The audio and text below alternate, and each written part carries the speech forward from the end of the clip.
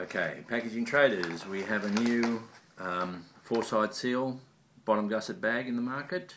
Um, it uh, has a, a, new zipper style, which we're calling it a tag zip. This zip has uh, got some unique features. It opens on the front of the bag as opposed to through the top of the bag.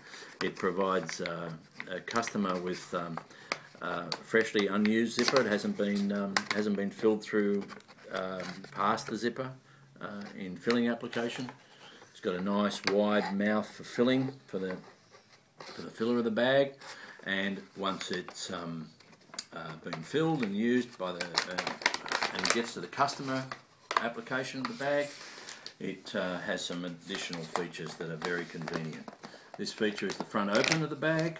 You can see the bag forms a very nice pouring function for fine fine materials like muesli and rice and this type of thing.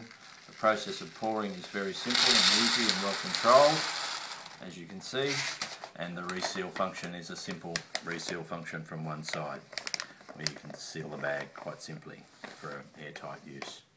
So extending the use of the packaging, which is what we're about, we're ensuring that the packaging has a long life in the pantry, uh, good for advertising and good for um, uh, the consumer, so they're not wasting the packaging.